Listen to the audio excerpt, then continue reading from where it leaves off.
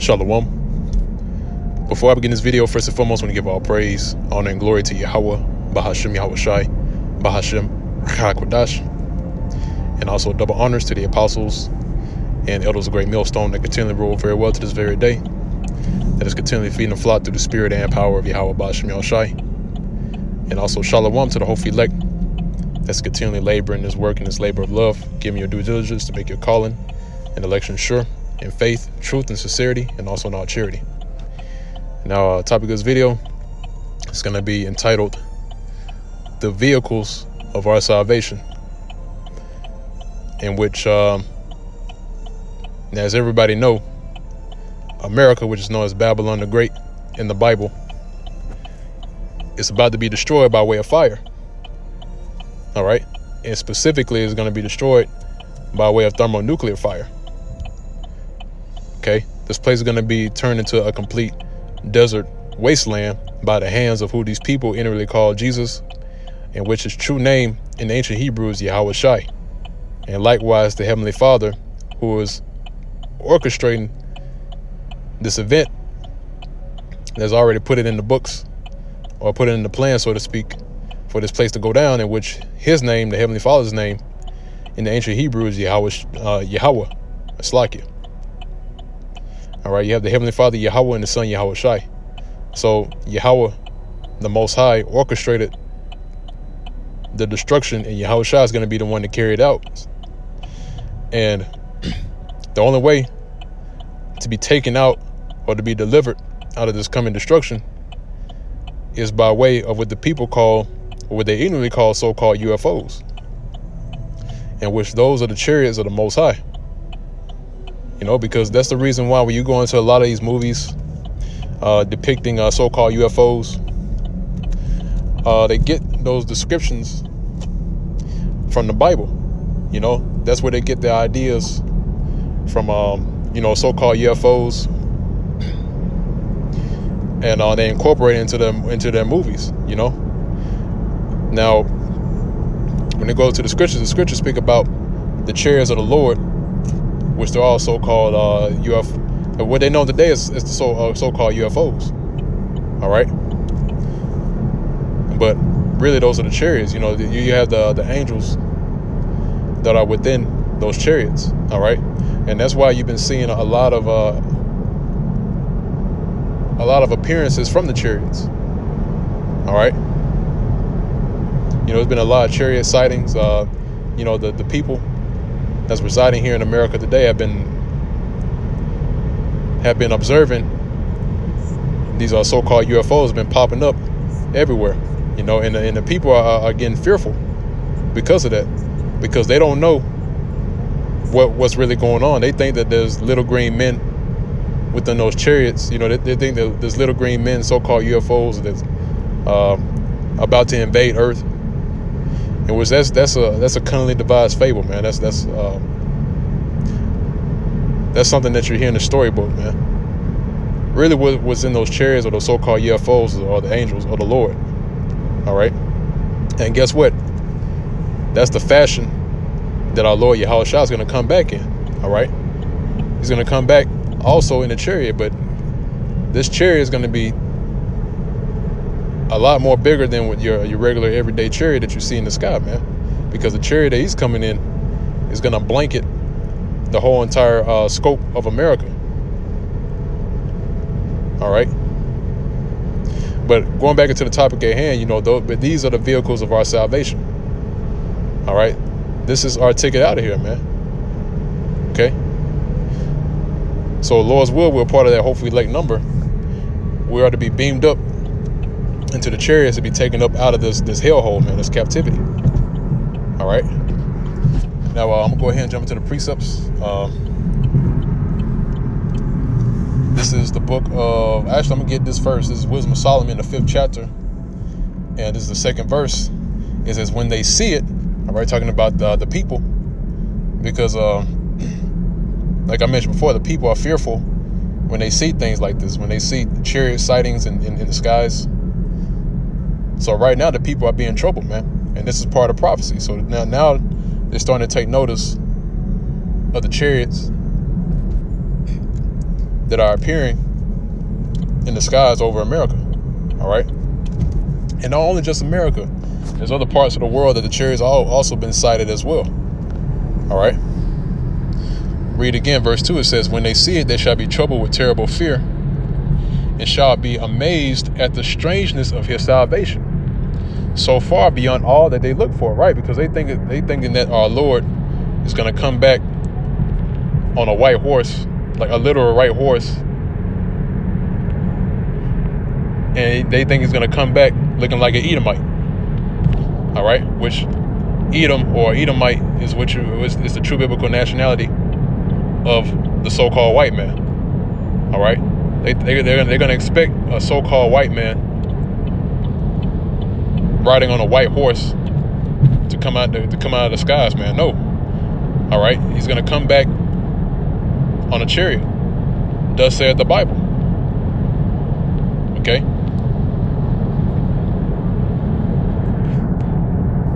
Reading again says, When they see it, they shall be troubled with terrible fear. It shall be amazed at the strangeness of his salvation so far beyond all that they look for. See? They're not going to be looking for you, Yahweh Shai to be coming back as a so called Negro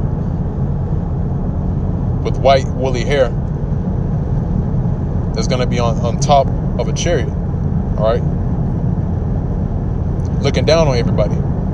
They're not, they're not looking for that, man. They're looking for uh, the, the other white meat, all right, that's going to come back and spread peace on the earth. But come to find out, is they're going to find a so-called Negro, a, a, a mad, a mad so-called Negro, a furious so-called Negro with white woolly hair that's going to destroy every single person that's that's against Yahweh Shai. All right. Now um, we'll go from there. Get the book of Zechariah, the fifth chapter. Is at the first verse. It says, Then I turned and lifted up mine eyes and looked, and behold, a flying roll. All right. Now, that's not talking about a literal flying roll, because guess what? If you go throughout the scriptures, it speaks about a flying roll. It speaks about um, a cloud by day and a pillar of fire by night in the book of Exodus.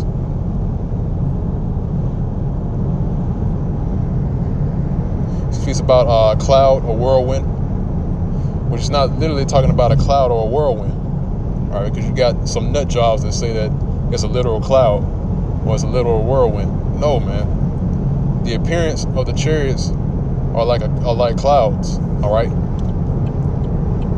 And when you see them in the sky, when they light up, they look like pillars of light. All right? How can somebody be afraid of a cloud, man? Think about it. If the people are going to be fearful and, frightened and terror and terror, um, it's like you're terrified. What you think they're going to be terrified of a cloud? Really, man, you got clouds that's up in the sky every single, almost every single day. And you mean to tell me they're going to be terrified of a cloud, man? Get out of here, man. No, when it comes back, he's going to come back in a in a, a terrible fashion, man. And and pursuing uh, what I just read, was Solomon, the second chapter, or, or Aslaki, the fifth chapter, speaks about uh, when they'll be amazed at the strangeness of his salvation. What's so strange about a cloud? A, a literal cloud. See what I mean? Well, I'm gonna go back into this verse here, this precept. It says, Then I turned and lifted up mine eyes and looked, and behold, a flying roll. And he said unto me, What seest thou? And I answered, I see a flying roll the length thereof is 20 cubits, and the breadth thereof 10 cubits. See? So it's that flying roll, man. That, that, that flying roll talking about a chariot. All right? Now, reading on, and there's a point. It says, verse 3, it said, Then said he unto me, This is the curse that goeth forth over the face of the whole earth. Right? It's a curse to these people, man. All right?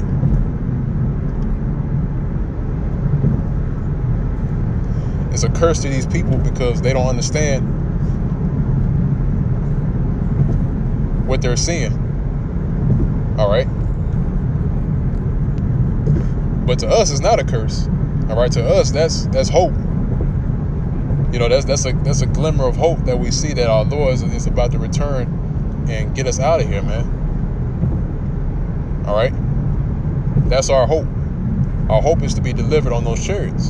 So when we see that, when we, when we see them appear, we give all praise to Yahweh Bashim Shai, man.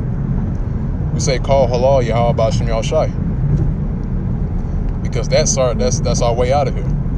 All right. And when we leave from this from this uh this world, when we're beamed up, we're not gonna go into the chairs with these bodies, man. All right these these corruptible bodies, man. These these mortal corruptible bodies. No, when we go into the chairs, we're to be changed. All right. Now I'm gonna read that verse again. It said, "This said, then said he unto me, This is the curse that goeth forth over the face of the whole earth. For everyone that stealeth shall be cut off as on this side according to it, and everyone that sweareth shall be cut off as on that side according to it." Right.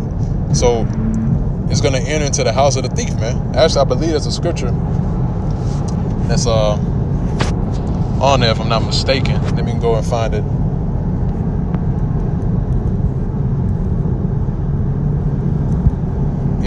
It may be the uh, let's see, Slakia.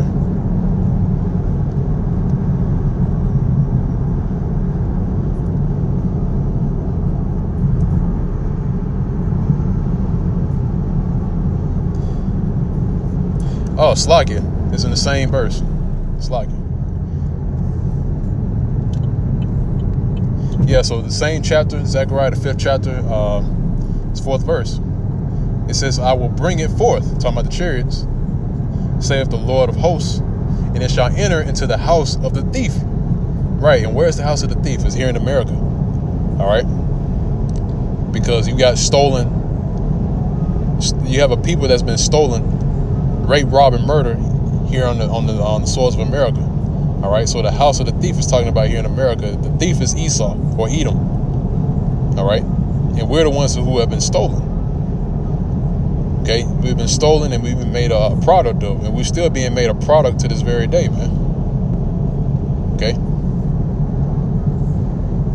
It says, uh, and I will bring it forth, and read again.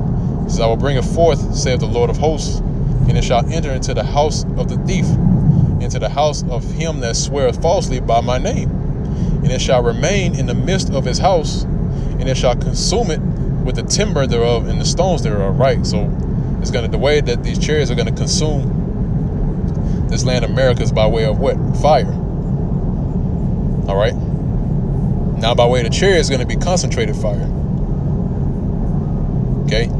So think about it, man. You have the the uh, so uh, the uh, ICBM thermonuclear missiles. You have that fire, and then on top of that, you have the fire that's gonna that's gonna consume, also consume this place, America, which is the the fire that's gonna come by way of the chariots, man. All right, that's a fire on top of fire. That's why when um, John the Revelator, when he when he was seeing the visions, he was looking down. He saw the uh, America as a lake of fire, man. All right. And that's how you know it's not talking about a hell, man. There's no such thing as a, as a place, uh, a mythical place called hell. All right. The lake of fire is talking about here. The, the lake of fire is going to take place here in America, man. All right. So, Dad, I want to go back. Uh,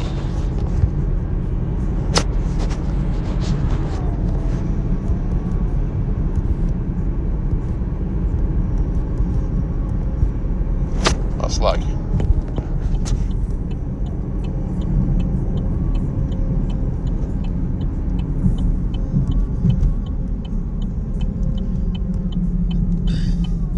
All right, it's the book of uh, Revelations, the 11th chapter. And, um, fuck. Revelation, the 11th chapter. And, um, started, I'm gonna start at the 11th verse. It says, uh, and after three days and a half, the spirit of life entered into them. And the them is talking about the elect. Because now you have the men of the Lord that has, that has risen. All right. And as um, the spirit of life has entered back into, into his men, the men of the Lord, man, the prophets. Okay.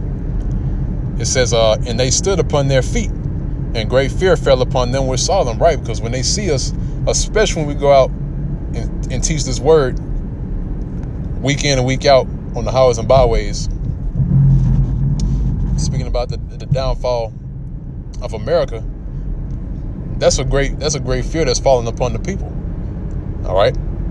Why? Because they know it's a certain vibration that comes behind us teaching or going out on the highways and byways and teaching because that's that that, that vibration that we bring in is the vibration of righteousness. And that's the vibration of Yahweh Bashem Shai. And that's a powerful vibration. All right.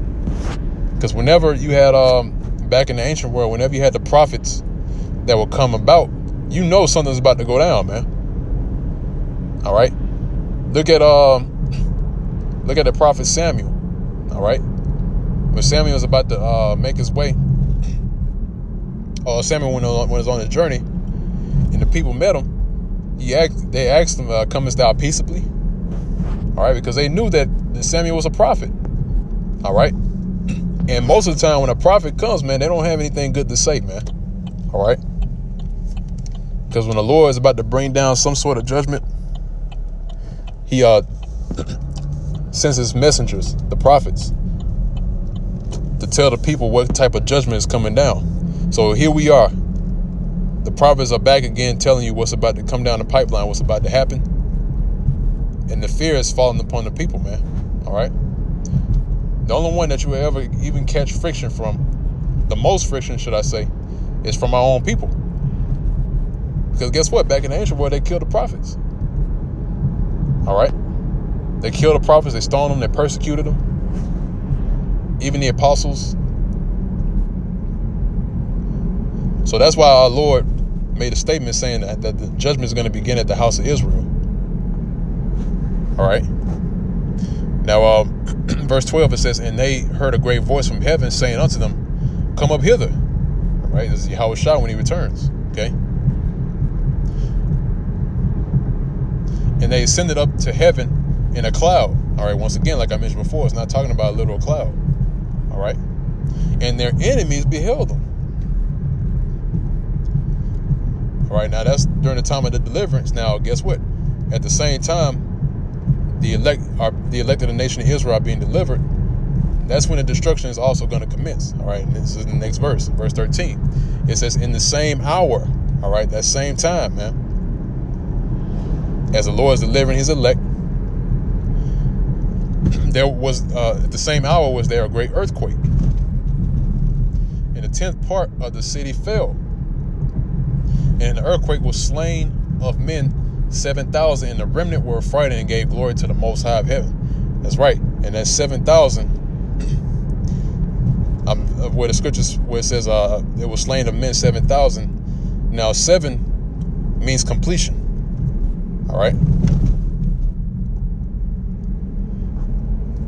Now you have 7,000 in the scripture.